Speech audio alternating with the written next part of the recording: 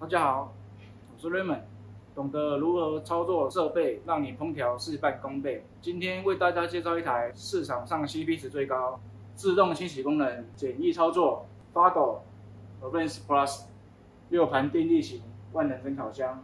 你可以看到外观是由不锈钢解双层隔热玻璃打造，长九十公分，宽八十七公分，高八十五公分，最大功率十点二 k 瓦。双层隔热玻璃可以看到我们食材在烹饪的过程，转把式的开门设计，左开右开都可以。不锈钢打造的内腔层架，在你清洁时方便处理，可拆式层架，让你在细微的脏污都能处理掉。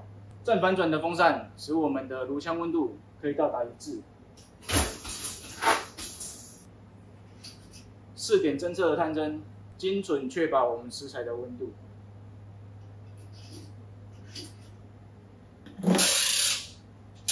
回弹式水箱，在你食材需要补水的时候，不用再配机器把水搬过来。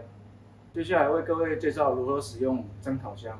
我们可以看到左边黑色的面板，红色的按键的话就是我们的关机跟停止键，黑色的一呢就是我们的开机键，把一打开之后，会跳到一个我们所谓的在操作的模式。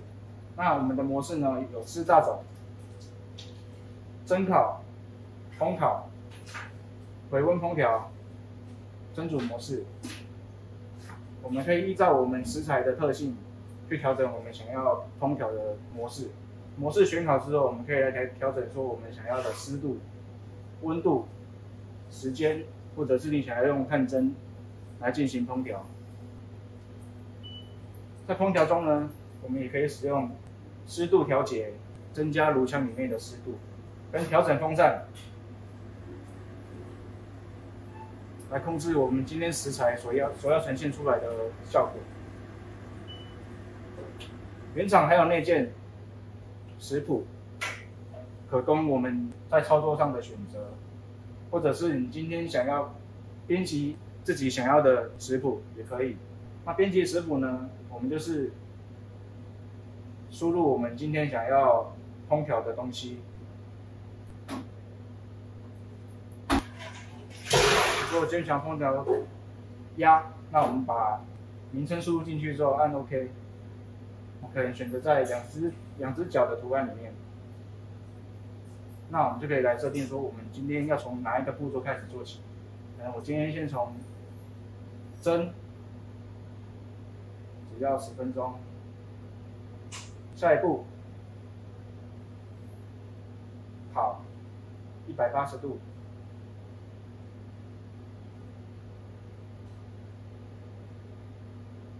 三十分钟。第三步，两百三十度。两分钟。那我们如果把所有的设定都输入好之后，我们可以按一个储存键，它会跳出来说你是否要储存。按 OK 之后，我们可以来这边看看我们刚刚输入进去的食谱。你只要把东西放进去之后，按开始，它就会自动帮我们的烹调。接下来为各位介绍如何操作自动清洗功能。我们可以按下 Menu 键，选择清洗，那它会跳出五种不同的程序让你选择，可以依照我们炉腔内的脏污程度来做你想要的程序。